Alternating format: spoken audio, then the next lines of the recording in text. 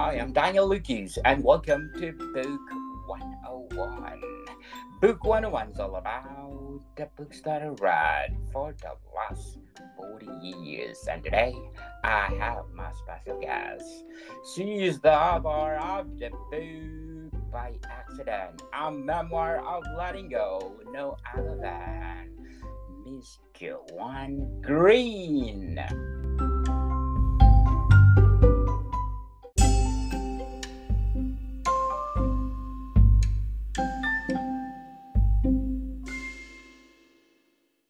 Thank you so much, Daniel. It's a pleasure to be on your podcast.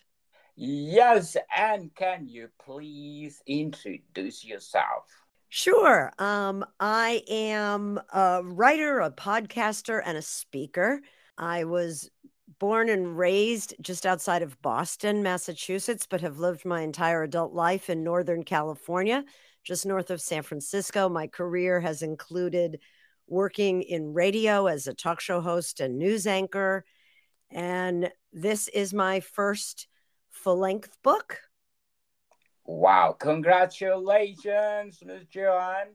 And how does it feel that you produce your memoir? It feels great. It really does. I am someone with a short attention span, and most of what I've written have been short pieces always. Uh, writing for broadcast is always short.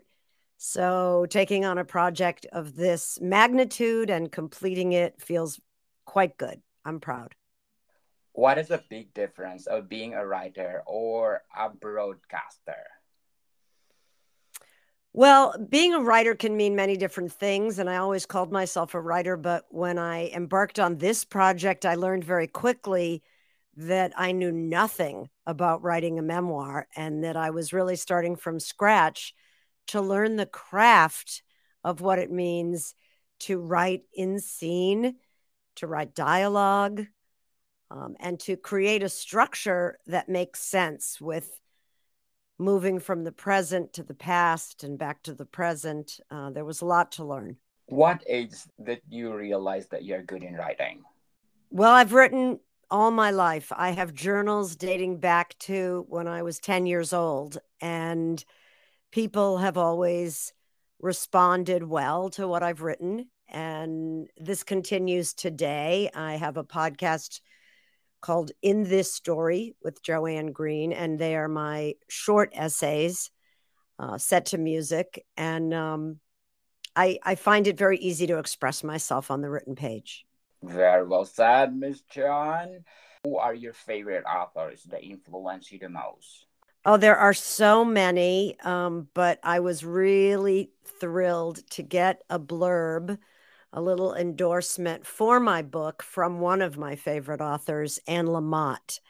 Um, it's on the cover of my book at this point, and it says, This is an amazing book, harrowing, deeply human, and charming. I absolutely could not put it down you describe Lamott writing, what is it? Authentic, humorous, insightful, sometimes self effacing, um, just bits of wisdom embedded in compelling stories. Did you get those criteria in your memoir? I hope so. That's what I was shooting for. I'm getting a lot of positive feedback right now, and that is encouraging. Lots of good reviews, and um, it seems that people find little gems of wisdom in there. the The idea with a memoir is is not an autobiography. A lot of people autobiography are the same thing. They're not. Autobiography is the story of one's life. Memoir is a chapter or a phase or a particular period of time in one's life where you share the stories, but with universal appeal. The goal being that readers can find themselves in your story. And I'm finding that to be the case. Um, people tell me they feel like we're a lot alike. So I think that's a good sign. Yes, indeed. And what are your long term and short term goals in writing? At this point, I don't necessarily have any plans to write another full length book. Um, I want to be a speaker because I have a, a very, I think, solid, relatable message about tools that can help all of us move through challenging times in life. And there are going to be challenging times in all of our lives, be they losses, illnesses, injuries, failures of any sort. And I've learned some lessons that I think are pretty universally applicable. So I want to be a speaker to be able to share those. I also want to continue writing shorter essays because that's really my wheelhouse. That's really where I'm most comfortable. And because I have a long career as a broadcaster, that's my medium is to be able to share my stories in the audio format. And I'm fortunate enough to be married to a production guy. So he's producing these for me and adding music and making making each of these stories. The the, the series is called in this story with joanne greene. And uh, i want to continue doing that for well out into the future Good luck, Miss Joanne, for your goals. And before we go on, I want to shout out to the people listening in Argentina. Muchas gracias, Argentina, because in Buenos Aires, FD, I get 45% audience share. Tucumán at 32%, Buenos Aires, the capital, at 18%, and Mendoza at 5%. Again, muchas gracias Argentina for supporting this podcast because this podcast is created to empower writers all over the world, just like Miss Joanne Greene. Miss Joanne, by accident, a memoir of letting go. What behind the title of your memoir? I was always a person in in control or thinking that I was in complete control. Uh, I felt safer when I was behind the wheel than if I was a passenger in a car. I I think I tried to control too much and and I learned after my accident when I had no control over anything, I wasn't even able to take care of myself, that control is a seductive illusion. And we can't really control things in our lives, but what we can control is how we respond to what happens to us. So, this is for all the people that think they have everything under control.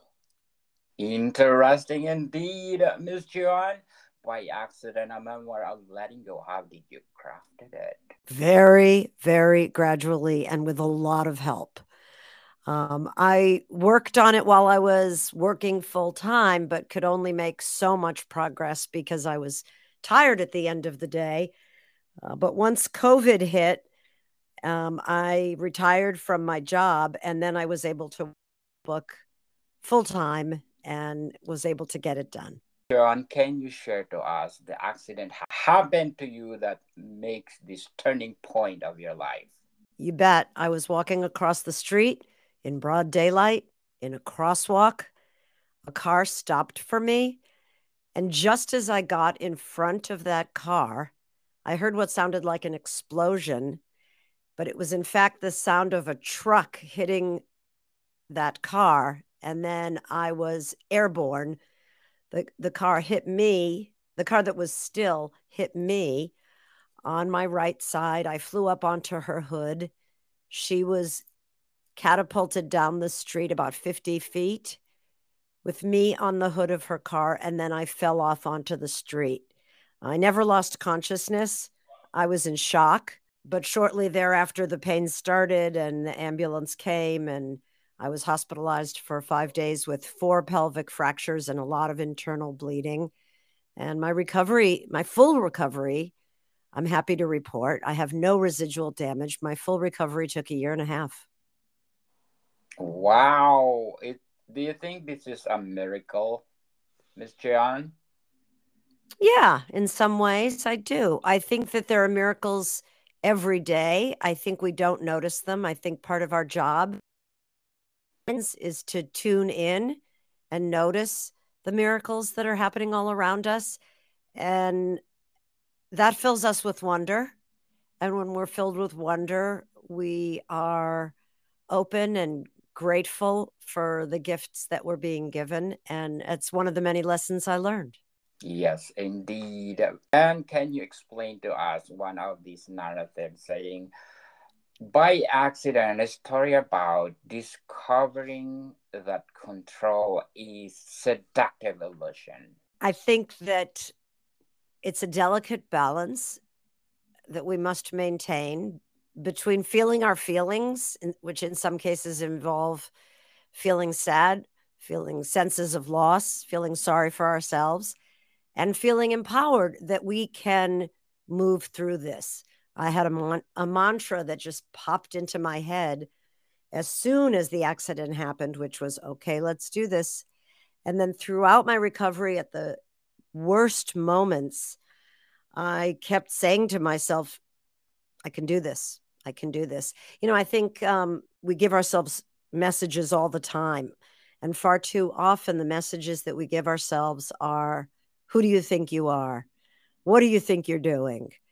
Um, really questioning our own ability to be out there in the world and maintain the confidence that it takes to accomplish things. And I learned that even if you don't believe the positive messages right at the beginning, if you give yourself positive messages, eventually in time you will start believing it and it will empower you to move forward.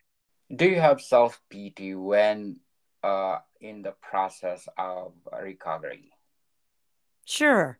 But I quote a friend of mine in the book who helped me greatly by saying, You can visit the pity pot, but don't be packing your bags and moving in. So it's fine to grieve and mourn your losses. And after an accident, you certainly are grieving the loss of independence. Um, but it was temporary, and I regained that independence.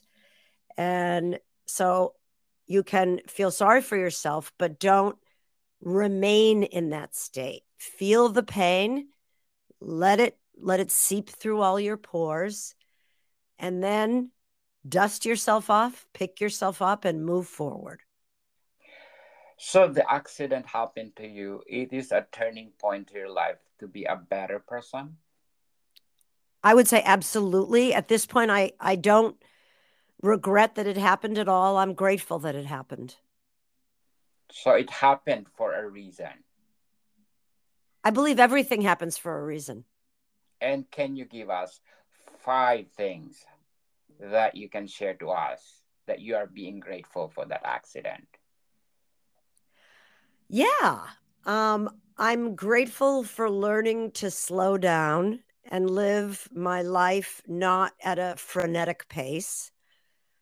Um, I'm grateful for finding the time to share my story, to dig deep, to undertake a project that is, I couldn't see the end of it when I started, and that was brand new for me. Um, I'm grateful that I've learned a kind of compassion that I can empathize with, and I believe at this point in my life, help other people who receive a difficult diagnosis or face an injury and a long recovery. I'm able to help them with some of what I learned. I take very little for granted now because I know that every pain free day is a gift. And my marriage and my relationships with my sons and my close friends have all been strengthened as a result of allowing them in and giving them the opportunity to help me because giving is really getting. Yes, very well said, Ms. Joanne. And according to MS from Canada, a powerful memoir. What are the elements that you put in the book that make this powerful memoir? I think authenticity. I think really sharing openly and not holding back anything really um, resonates for people. And I, I think there, I learned a lot about the craft of how to bring to a moment and create a scene. And it involves helping the reader really feel what's happening, hear what's happening, see, smell what's happening. And you can do this on the printed page. I also have an audio book um, of By Accident. So if people prefer to listen to books, they can get it on any of the traditional platforms for purchasing audiobooks. Yes, and according to Miss Jennifer G, transformative. What are the insights in the book that they saying it's very transformative? Well, I certainly transformed. I hope that other people feel that when they read it. Um, there, I, I use the phrase post traumatic growth. We uh, we often hear the traumatic stress, and that's very real, no question. And I certainly felt that. I had flashbacks of the accident. I was terrified of for a long time. Um, but we also have the opportunity after trauma to have incredible bursts. And with help, I was able to do that. So uh, there, that's where I really transformed. Yes, indeed. And according to Tricia Gibbs, a fabulous memoir, beautifully written. Wow, I love this, Miss John. And I want to shout out to the people listening in California. There's a lot of places in California, so I will not name them all. I have 114 places. Thank you so much for the bottom of my heart, California. Before we go on, I'm inviting you to listen to my other podcast, Food 101, on our third season with Chef Alessandro, one of the best executive chef in one of the best restaurants in downtown Toronto. So please do listen. Food 101. Our latest episode, we talk about Grissini. Grissini, people, one of the trademark of Italian cuisine. Plus one more, our books are out. Not one, but seven volumes. Food 101, Volume 1, Basics until 7 is out, available on Amazon and leading online bookstores worldwide. So, Miss Joanne, if you want to go back and revise the book itself, which part of the book you want to revise? I don't. Is that a reasonable answer? I think it it stands right the way it is, and I'm I'm very proud of it. It is a reasonable because your memoir is one of a kind. I hope so. Which chapter you enjoy the most? Oh gosh. Um I reworked so many of the chapters again and again and again and maybe I'll say the epilogue which is it takes place years after the rest of the book and it really shows me it was it allowed me to write about the thrill of watching my granddaughter who been born um, being so free and letting go quite naturally so sometimes we can learn things from children definitely children are the best portal in everything do you have another option for the title of your memoir no, I didn't. Um, I really didn't. When I landed on by accident, then discovered that there was no other book by that name. I was shocked to learn that. Um, I landed on it and stayed with it right from that moment. I was um, the baby of the family, also by a mile. My my parents were in their 40s when they had me. My brother was 13. My sister was eight, and so my existence was an accident. And then this title was so perfect is that it referred both to that and the fact that my growth happened as a result of an accident. And I say at the end of the book, maybe there are no accidents. Maybe all of them was meant to be. Yes, it happened for a reason. So, can you explain us the cover of your book? Why is it abstract? Well, I think that the artist, the designer who worked on it, um, was trying to create of a person breaking apart pieces and then yet coming back together. What is the best highlight of your memoir? As in, do you want me to read a little section for you? Yes, please do. Well, there are many. Um, but I would say the very first chapter is the accident itself. And readers tell me that as they read it, they're, you know, they're really holding their breath because I bring you right into what that felt like to be lying on the street and the police and the cars and people screaming. Chapter two begins as follows Being hit by a car is not my first blow although it's probably the most literal, and it won't be my last, but it will be a catalyst for me. A sudden graphic stop to my constantly in motion existence. My need to produce and achieve to feel worthy of love. My need to control everything because I've believed that it would make me safer. It will be the test that finally teaches me that my needs are masks and that control is an illusion. I've had plenty of opportunities, losses, hard ones, to learn to let go. But I grieved my losses and went right back to my old ways. The accident has stripped me, made me totally dependent on others, put cracks in my bones, and revealed cracks in my armor. I can't go back to my old ways, not easily anyway. Over time and through a series of other physical and emotional challenges, I will discover that losing control can be the best way to truly gain it. Letting go means letting in light, revealing my real power, and finally feeling that deep sense of peace that I'd been desperate to find.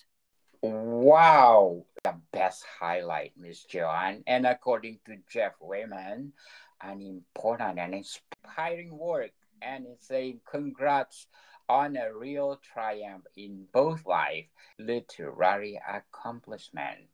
Do you think this book will be your legacy? Yeah. I mean, part of my legacy, I would say that my greatest legacy are my children and now my grandchildren. Um, I have two grandchildren and a third one on the way, God willing.